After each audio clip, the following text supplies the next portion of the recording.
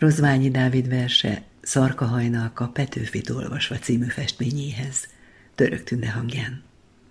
Petőfit olvasok, a költőt, kit az utókor márványtalapzatra emelt. Hősi pózba kényszerített, szavait kőtáblába vésve, mert a múltból híroszok kellenek, s nem emberek. Petőfit olvasok, a versekből az embert érzem, ki esténként megoldotta zekéjét, kigombolta ingét, s szerelemmel ifjú nejére nézett. Várta már tűn a szerelmes ülelést. Bár a harcot hirdette, Júliában a békét kereste. Petőfit olvasok, s azon gondolkozom, e poéta a békét miért nem lelte meg?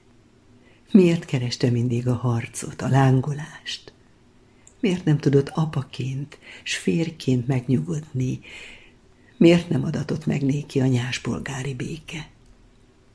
Petőfit olvasok. A költőt ki tüzet gyújtott, s magával kezdve mindent felégetett.